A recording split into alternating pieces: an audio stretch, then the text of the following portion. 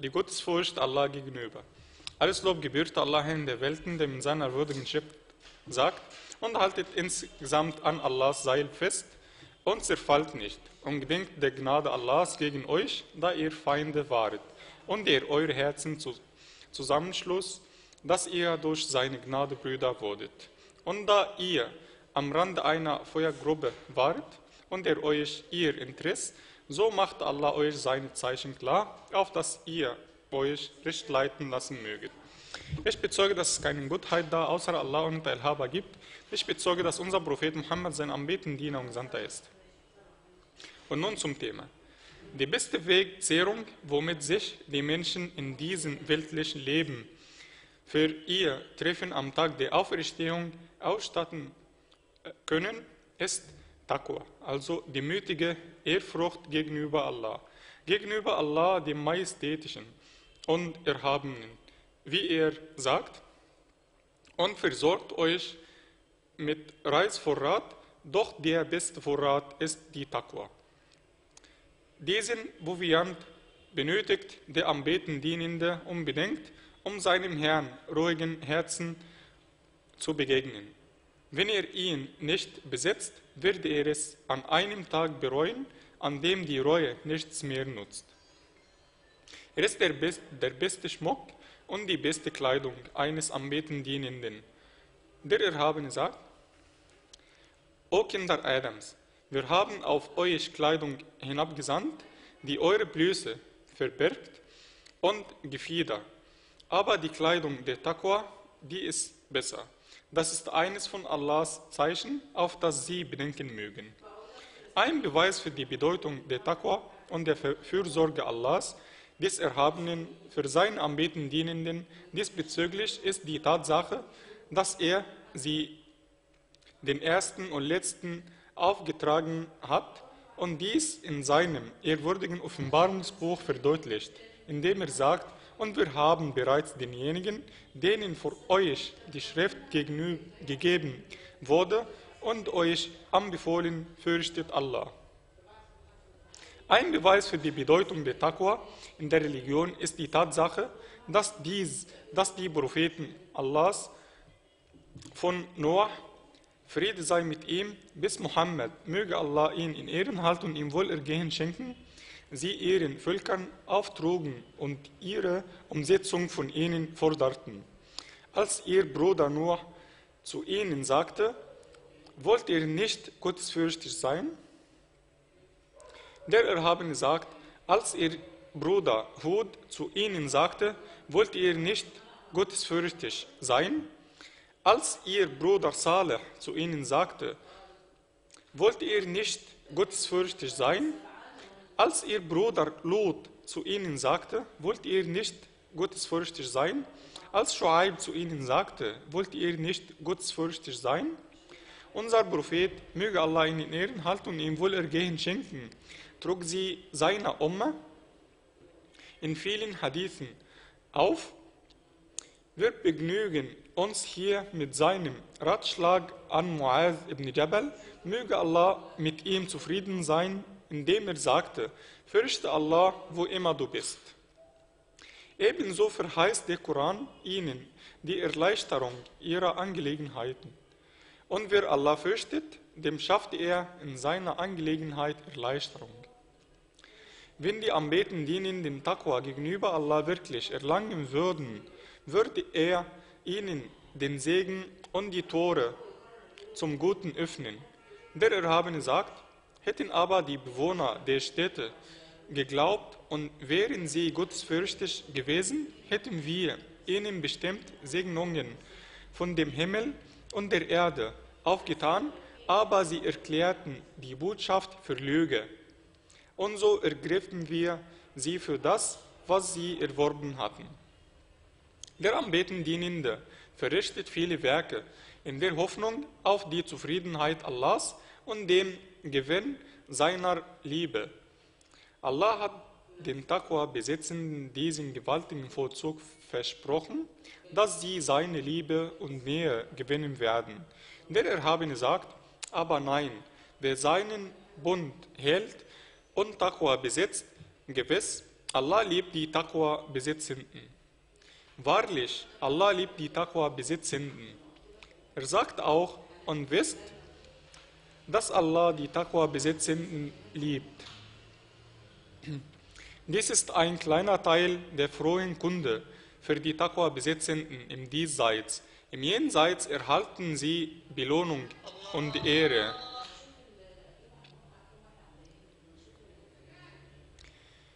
Allah verheißt ihnen die Rettung von seiner Strafe, indem er sagt, herauf erretten wir diejenigen, die gottesfürchtig waren, und lassen die Ungerechten in ihr auf den Knien zurück.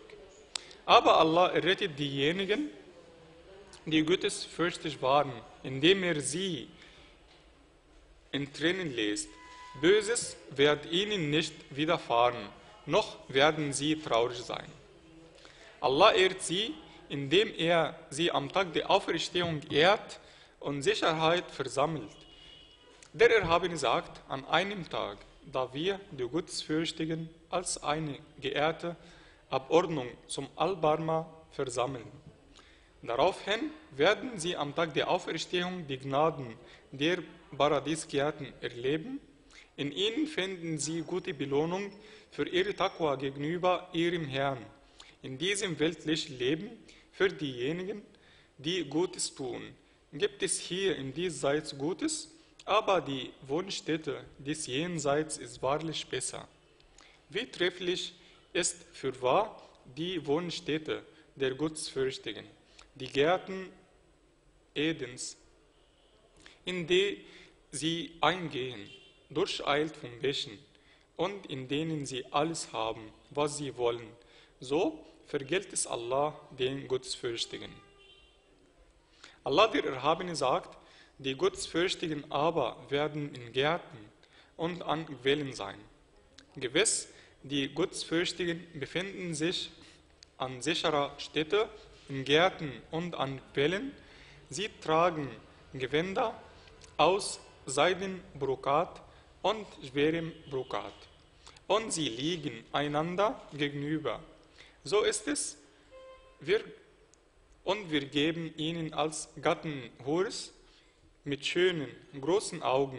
Sie rufen darin nach Früchten aller Art und sind dort in Sicherheit.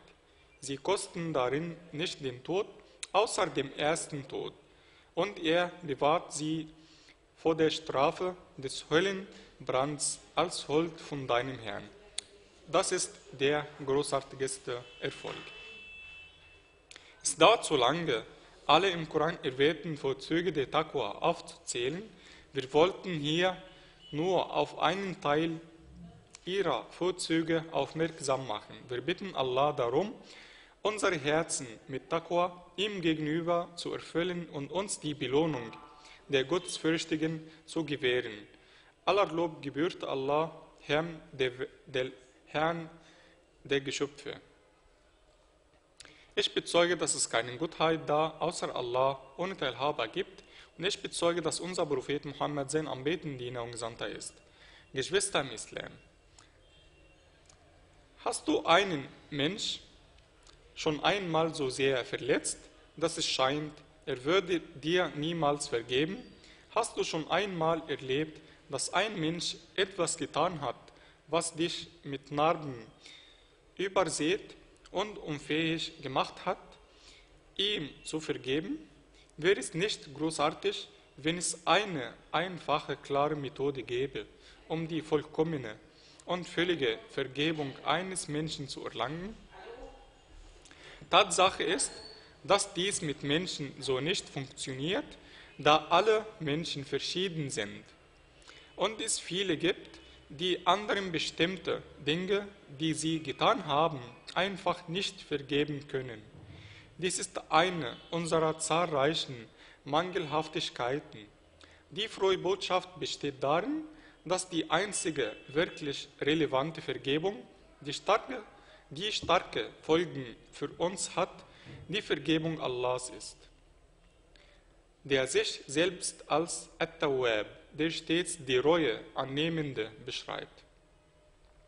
Unser barmherziger, liebender und vergebender Schöpfer hat uns die einfachen Schritte skizziert, wie wir seine völlige Vergebung erlangen und zu denen gehören können, die sein Wohlgefallen erlangen haben. Unsere Unwissenheit und Arroganz könnten uns allerdings davon abhalten, diese Schritte zu vollziehen. Dies bringt uns zu den nächsten Eigenschaften der dem barmherzigen, am Beten dienenden.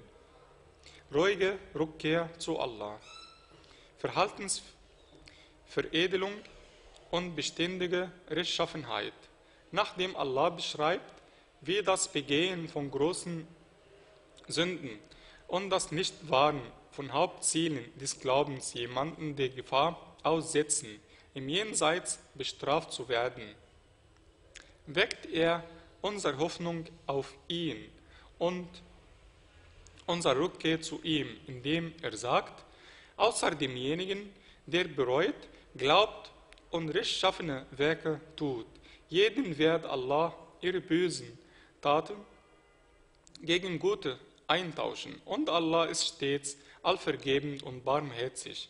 Und wer bereut und rechtschaffen handelt, der wendet sich in wahrhaftiger Reue Allah zu. Unsere Gelehrten sagen, dass große Sünden Reue erforderlich machen. Wie im letzten erwähnt, waren diese Verse, die diesen vorausgehen, jene, die größte Sünden, wie polytheistisches Anbeten, Mord und Unzucht begehen, vor einer schweren Bestrafung im Jenseits. Die oben erwähnten Koranverse liefern die Mittel, um für große Sünden zu söhnen.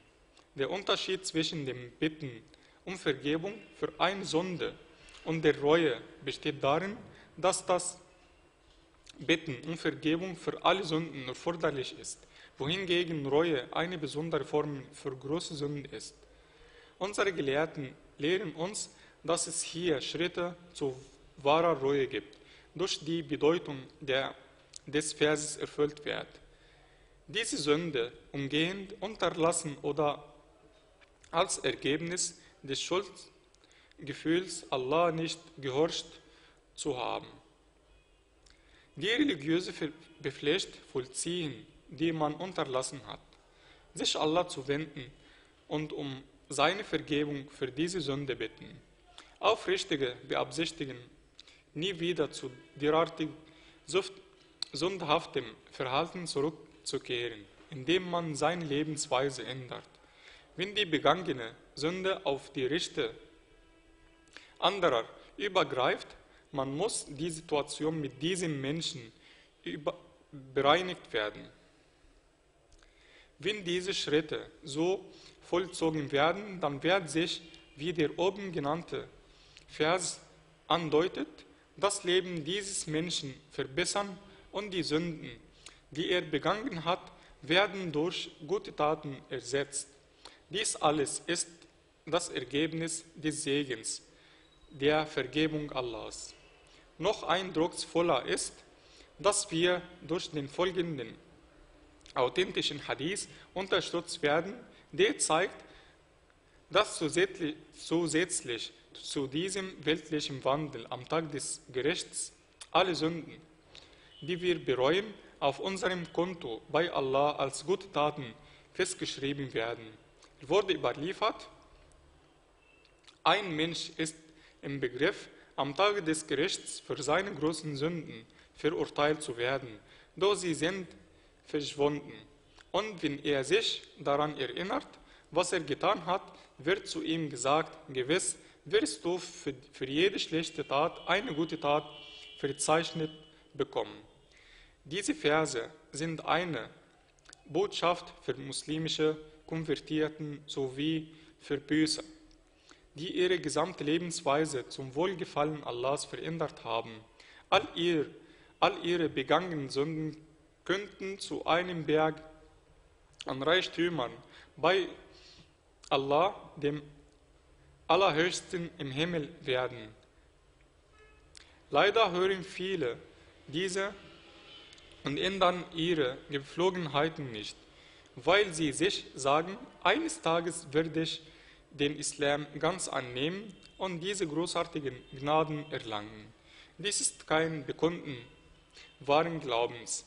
Derartige falsche Behauptungen werden die Fürchte des himmlischen Segens nicht hervorbringen.